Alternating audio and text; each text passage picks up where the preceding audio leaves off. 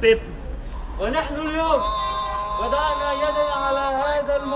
هذا العدو هذا الخائن ووصل اليوم نحتاج هذا المظلوم